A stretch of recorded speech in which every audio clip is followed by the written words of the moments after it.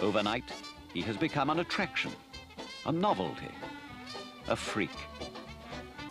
Yes, how can In this 1935 film based on the life of Zelig called The Changing Man, the atmosphere is best summed up. We can't give up custody of Leonard. I know if I'm given the chance, I can cure him. It's no use. Even our attorney says it's hopeless. Really, Dr. Fletcher? Uh, may I call you Eudora? I tell you, somewhere behind that vacuous face, that zombie-like stare is a real human being, and I can bring it out. How? I'll think up some new way, some technique. Whatever it is, it'll have to be personal. There's not much I can do legally. I'll try, but They don't care about him. They'll exploit him. All they see in him is a chance to make more money. Look at this. Already they're selling this Leonard Zelig doll. The film did not exaggerate. There were not only Leonard Zelig pens and Lucky Charms, but clocks and toys.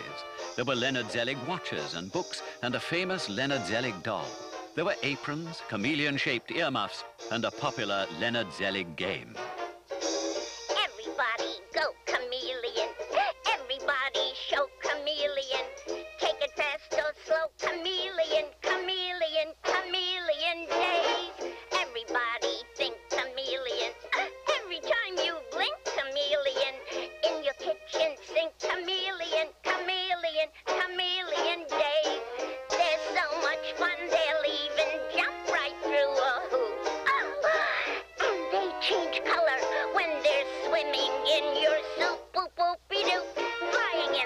In the air, chameleon.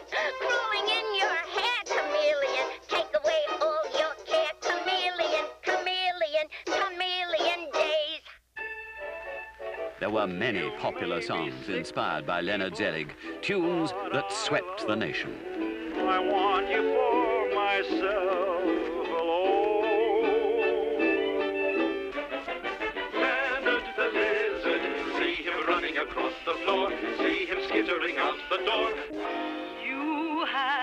such reptile eyes, eyes like a lizard that weave spell. In addition to the products and endorsements, there are the endless exhibitions.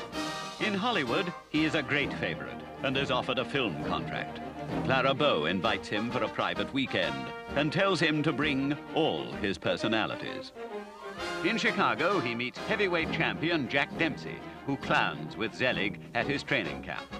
In Washington, D.C., he is introduced to both Calvin Coolidge and Herbert Hoover.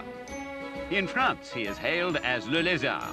He is the toast of the Parisian music halls. His performance endears him as well to many leading French intellectuals who see in him a symbol for everything. His transformation into a rabbi is so realistic that certain Frenchmen suggest he be sent to Devil's Island. The Folies Bergère, Josephine Baker does her version of the chameleon dance and later tells friends she finds Zelig amazing, but a little lost.